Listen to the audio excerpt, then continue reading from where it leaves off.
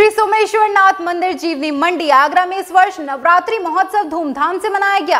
महोत्सव का मुख्य आकर्षण देवी आरती रही, वही सभी भक्तों का सम्मान समारोह का कार्यक्रम आयोजित किया गया। शनिवार को श्री सोमेश्वर नाथ मंदिर वैद्य कालीचरण गली जीवनी मंडी आगरा में इस वर्ष नवरात्रि महोत्सव धूमधाम से मनाया गया। महोत्सव का मुख्य आकर्षण देवी आरती और सभी भक्तों का सम्मान समारोह कार्यक्रम रहा। ये हर साल हम लोग सब लोग सम्मिलित होकर कार्यक्रम करते हैं। क्या कार्यक्रम माता का जागरण करते हैं और पूजा नौ दिन रेगुलर पूजा होती है और भंडारा होता है। आज ग्यारह सौ आज 1100 दीपकों की आरती थी और बड़े दीपक की हम लोगों ने आरती थी क्या कहना चाहते हैं जनता से यही कहना चाहता हूँ कि सदा सनातन के साथ रहें।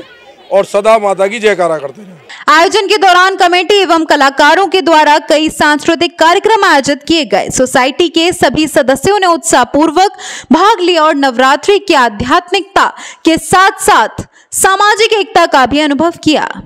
कार्यक्रम की शुरुआत देवी माँ की भव्य 1100 दीपों से आरती हुई जिसमें बड़ी संख्या में महिलाओं पुरुषों और बच्चों ने भाग लिया। श्री सोमेश्वर नाथ महादेव मंदिर कमेटी द्वारा आयोजित नवदुर्गा महोत्सव के आयोजन के उपलक्ष्य में आपसे जुड़ा हुआ हूँ। जी। आज महामाई की महाआरती, जो कि 1100 दीपक द्वारा आयोजित की गई थी, श्री सोमेश्वर नाथ महादेव कमेटी द्वारा।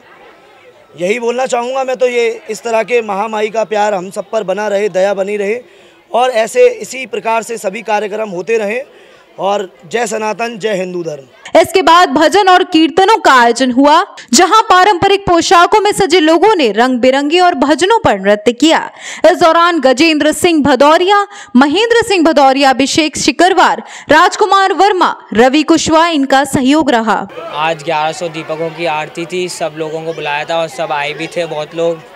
और हर साल हमारे यहाँ होती है और हम यही कहेंगे कि सब सनातन के साथ रहें और मतलब पूजा वगैरह में रहें, किसी आलतू फालतू कामों में ना लगें। सांस्कृतिक कार्यक्रम में बच्चों और युवाओं ने गीत, नृत्य और नाटकों की प्रस्तुतियाँ दी, जो सभी के बीच विशेष आकर्षण का केंद्र रही।